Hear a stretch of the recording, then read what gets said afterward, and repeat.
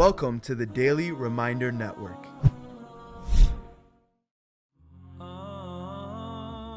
Heart Softeners by Sheikh Muiz Bukhary.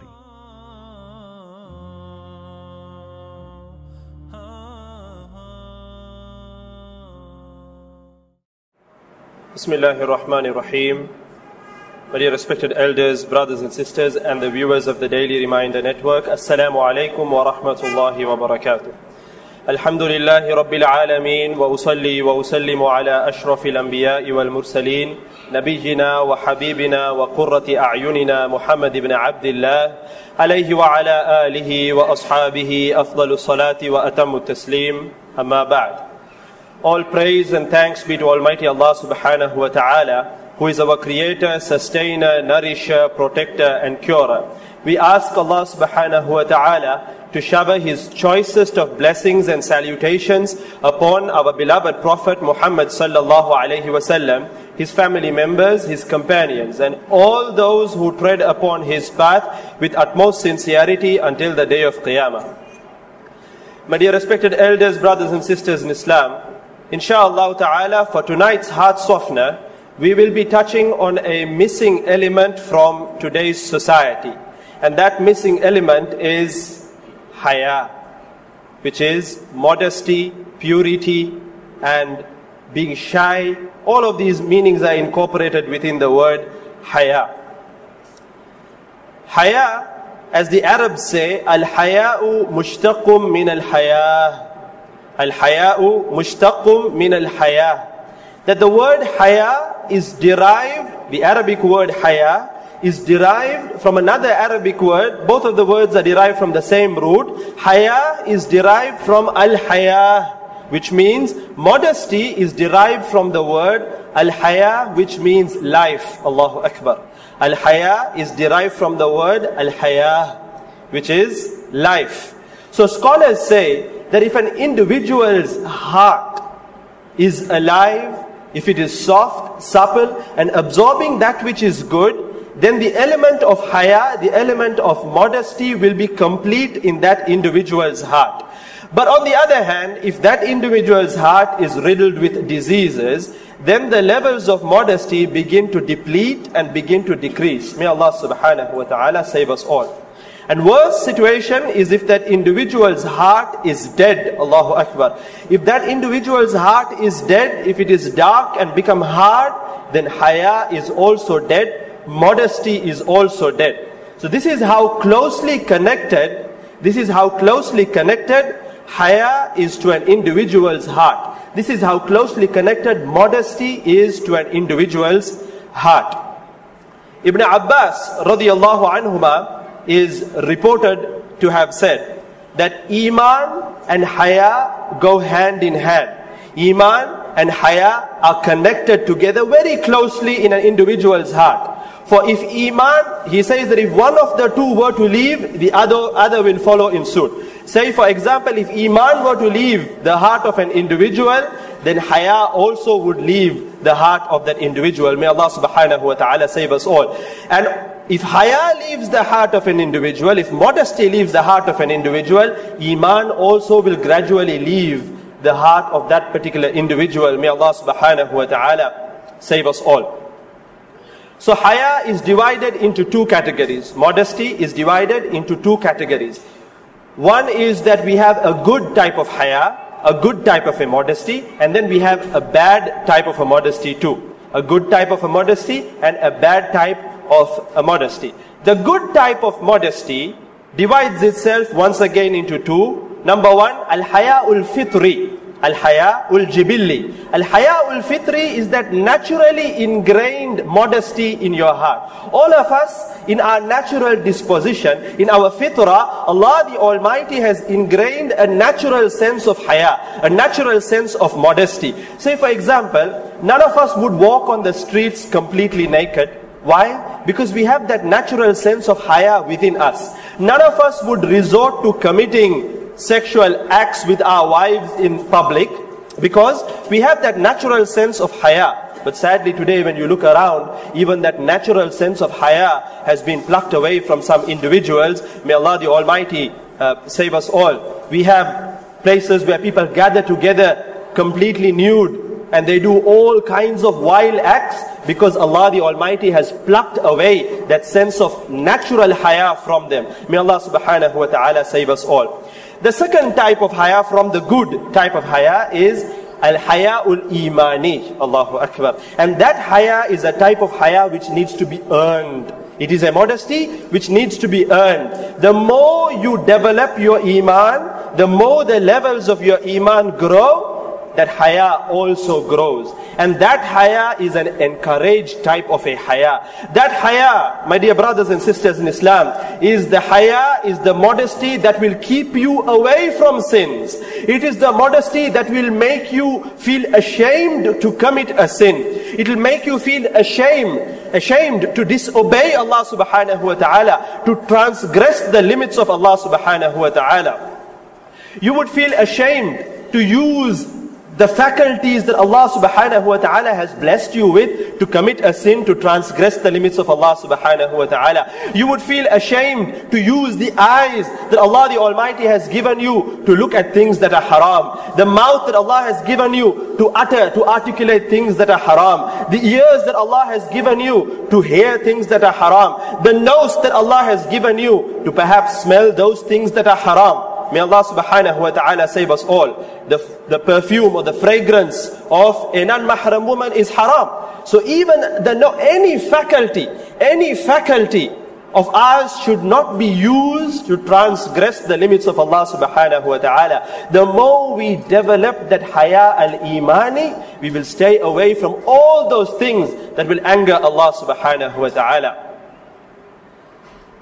Salman the, per- the Persian radiallahu anhu, he states that if Allah subhanahu wa ta'ala, if Allah the Almighty decrees doom upon an individual, Allah the Almighty plucks away haya from that individual. Allah plucks away modesty from that individual, resulting in that individual becoming rebellious and defiant to the commandments of Allah subhanahu wa ta'ala. May Allah the Almighty save us all. Moving on to the bad type of haya, we'll swiftly cover that. That haya is not encouraged, it is blameworthy, and it is not something that we need to adopt.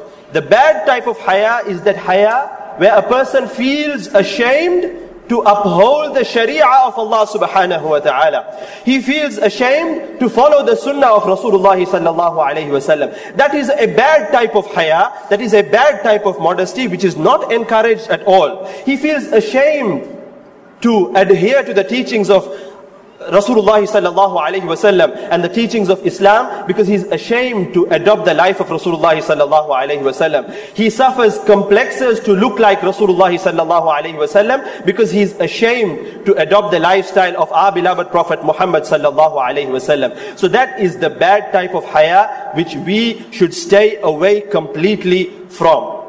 My beloved Sheikh Imam Ibn al-Qayyim rahimahullah, he states that if an individual commits something in secret, if an individual commits something, a sin in secret, that he is ashamed to commit in the public, that means he does not have haya and also he does not have any self-respect at all for himself. Allahu Akbar.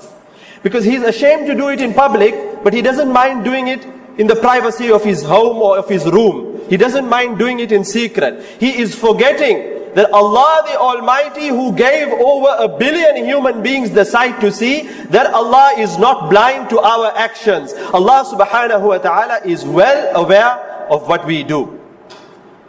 Rasulullah sallallahu alayhi wasallam is reported to have said, and the hadith is in Bukhari, إِذَا لَمْ تَسْتَحِ فَاسْنَعْ مَا شِئْتَ If you don't have haya, if you don't feel ashamed, if you don't feel modest, then do whatever you will. Do whatever you want. You can be whatever you want, even walk on the streets naked. If you don't have haya, do whatever you want. Because scholars explain, as haya leaves you, iman also will gradually leave you. Let me share with you all the beautiful story of Imam Abdullah ibn Maslama al-Qanabi, rahimahullah. One day, there was a young street urchin who was known as Abdullah. He was a street urchin who used to run around causing all, cause, all kinds of mischief and doing whatnot. One day he was seated outside his house and he was having a dagger in his hand and he was planning to do some mischief. At that time he sees a group of people approaching him. There was a person riding a donkey or a horse and he had students around him gathering around him. So the minute that convoy or that gathering passed him, this young boy Abdullah asks the students, Who is this person on the horse or on the donkey? What is the big deal about him? Why are you following him? Then the students say, said that this is Imam Shu'ba ibn al Hajjaj. He was a great Imam of Hadith, and we are his students. Oh, so he is a great Imam of Hadith? Then let me go up to him and ask him to relate a Hadith to me so that I can relate from him. Oh, Shu'ba, relate a Hadith unto me. Now Imam Shu'bah said, this is not the way a student of knowledge seeks knowledge. Why don't you come to our circles and then seek knowledge from me? And you have to de- develop your character and your behavior if you want to become a student of knowledge. To which he said, no, I'm not going to leave you. I will cause a big ruckus here if you don't narrate a hadith to me. And he starts pointing the dagger at the Imam. Allahu Akbar. The Imam then says he uses the opportunity to teach this individual something. He narrates this very hadith that I narrated to you all now. إِذَا لَمْ تَسْتَحِ فَاصْنَعْ مَا شِئْتَ he, he narrated the hadith with its full chain and he said, قال رسول الله صلى الله عليه وسلم Rasulullah صلى الله عليه وسلم is reported to have said, إِذَا لَمْ تَسْتَحِ فَاصْنَعْ مَا شِئْتَ If you don't have modesty, if you don't have haya, do whatever you want the minute the Imam uttered those words of Rasulullah sallallahu alayhi wasallam, this street urchin, his name was Abdullah, it struck a chord in his heart and it was as if Rasulullah sallallahu alayhi wasallam materialized in front of him and it was as if Rasulullah sallallahu alayhi wasallam may my mother, my father and myself be sacrificed for him and be ransomed for him. It was as if he had come in front of him and was advising him. He immediately turned back home and that was the pivotal moment that he changed his life completely. He turned and changed his life completely and turned over a new leaf and started his journey on seeking knowledge. Allahu Akbar. He travels all the way to Imam Malik, rahimahullah, and he becomes one of the most famous students of Imam Malik, rahimahullah. And after a long period of seeking knowledge, he comes back to where he was, his hometown, because he wanted to become a student of Imam Shu'bah, the very Imam that he had pointed the dagger at. But by the time he comes back, Imam Shu'bah, rahimahullah, had passed away. And this young boy, Abdullah, later on becomes the great Imam, Al-Imam Abdullah ibn Maslama Al-Qa'nabi. He was a student of Imam Malik rahimahullah, a great muhaddith, Allahu Akbar. And the only hadith, the only hadith that he narrates from Imam Shu'bah is that hadith that he heard after pointing the dagger at him.